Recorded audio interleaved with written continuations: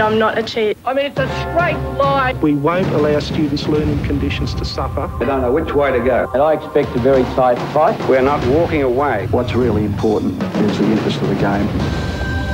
10 News. 10 News. 10 News. 10 News. 10 News. When news breaks, good friends always tell you first. Glenn Taylor and Marie Louise Theile with 10 News. First at 5.